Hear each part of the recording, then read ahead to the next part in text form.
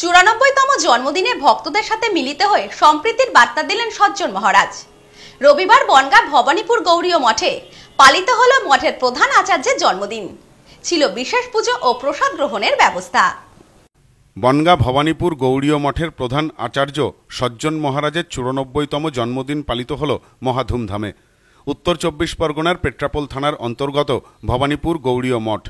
এই মঠের দায়িত্বপ্রাপ্ত সজ্জন মহারাজ।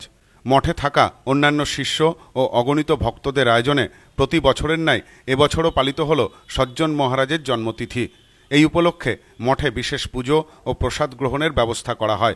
রবিবার ভক্তদের ডাকে সাড়া দিয়ে মহারাজ ভক্তদের সাথে মিলিত হন, তাদের আশীর্বাদ প্রদান করেন। ভক্তেরাও মহারাজের আশীর্বাদ নিয়ে তার দীর্ঘায়ু কামনা করেন। এদিনের অনুষ্ঠানে উপস্থিত ছিলেন স্থানীয় ছয়ঘড়িয়া পঞ্চায়েতের প্রধান প্রসেনজিৎ ঘোষ। প্রধান বলেন এদিন আমি এখানে এসেছি প্রধান হিসাবে নয়, একজন সাধারণ ভক্ত হিসাবে। এখানকার যিনি প্রধান আচার্য, সেই সজ্জন মহারাজের চুরানব্বইতম জন্মদিন। আমাদের চারিদিকে আজ শুধু হিংসা, বিদ্বেষ। এই সকল মানুষগুলি সারা জীবন ধর্মকর্ম নিয়ে অতিবাহিত করেন। সাধারণকে মৈত্রী, ঐক্যের বার্তা দেন। এখানে আসতে পেরে আমি আনন্দিত। ভবানীপুর এই গৌরীয় মঠের যিনি আচার্য, সজ্জন মহারাজ, তার আজকে চুরানব্বইতম আবির্ভাব তিথি।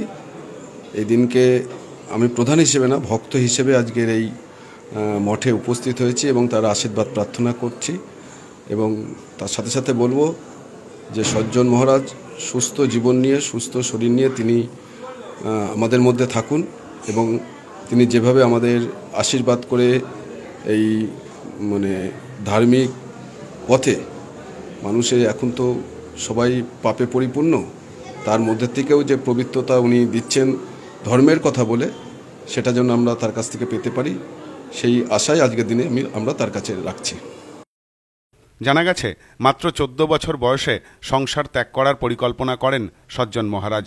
তারপর মায়াপুরে গুরুদেবের কাছে দীক্ষা লাভ।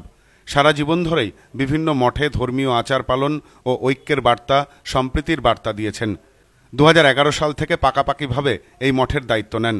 এদিনও বারবার তার কথাতে উঠে এসেছে সাম্প্রদায়িক সম্প্রীতি ও ঐক্যের বার্তা। তখন পাড়া তো বিরাট বিরাট বিরাট মাঠ, বসতি অল্প। তো অন্ধকারে সেই মাঠে গিয়ে যাকে কেউ শুনতে না পায়, আমি কি বলতাম? এ আশীর্বাদ করম রে লক্ষ্মী যেন আমায় ছাড়ে। লক্ষ্মী যেন আমায় ছাড়ে। আরও ঘুরতে ঘুরতে মায়াপুরে গুরুদেবের সঙ্গে দেখা হলো। আমার উদ্দেশ্য ছিল হিমালয়ে চলে যাব। কি ভাগ্য মায়াপুরে হঠাৎ দেখা হলো। একজন বৈষ্ণব বললেন, আপনি যখন হিমালয়ে যাবেনই যাবেন, তো মায়াপুরে একবার দর্শন করে যান। তো বললেন মায়া হিমালয় গিয়ে ভজন সাধন করলে এটা শুধু নিজের উপকার হবে। হ্যাঁ? আর যদি কোনো সঙ্গতে থেকে এটা করেন, তাহলে আরও অনেক লোক উপকার হবে। এতে আপনার বেশি ভগবান প্রসন্ন হবেন।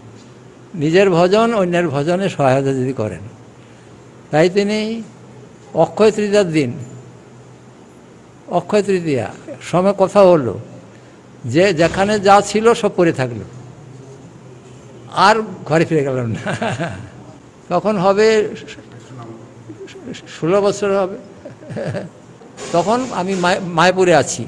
মায়াপুর গিয়ে আমার কাছে দেখা দেখা করলেন। যে এই ব্যাপার হয়েছে, এটা কি করে চালাবো, এটা আপনারা নেন। আমরা, আমাদের তো পঞ্চাশ, ষাটটা শাখা মঠ। হ্যাঁ? হাজার হাজার সম্পত্তি সম্পত্তি যা সারা ভারতবর্ষে রয়েছে, বাংলাদেশে রয়েছে হ্যাঁ? আর আপনারটা নিয়ে আমরা কী করে করব এই জঙ্গলের মধ্যে? খুব কান্নাকাটি করলেন।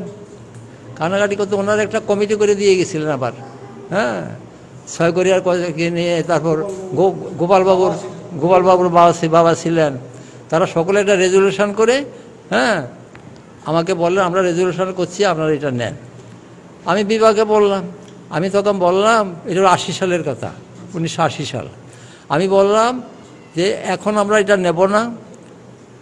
আমি, আপনার তো মূল প্রবলেম হলো ঠাকুরের সেবা। আমি একজন ব্রহ্মচারীকে দিচ্ছি, সে ঠাকুর সেবাটা চালিয়ে দেবে। এটা করুন, তারপর পরেরটা পরে চিন্তা করা যাবে। এইভাবে আশি থেকে পঁচাশি এসে গেল। এর মধ্যে আর কোনো লেখাপড়ি হয়নি। পঁচাশি সালে আমাকে না জিজ্ঞাসা করে, সব করে দিল। ওই সনদ প্রভু ছিলেন। হ্যাঁ করে নিল। এগারো জনের নামে। এগারো সালে এসে দেখি এ মঠ একদম বছর এই বেলা কি ঠাকুরের ভোগ হবে তাও নাই। তখন বাধ্য হয়ে এগারো সাল থেকে এটা হাত দিলাম। হাত দিয়ে bureau report, news, no man's land, Bongaon.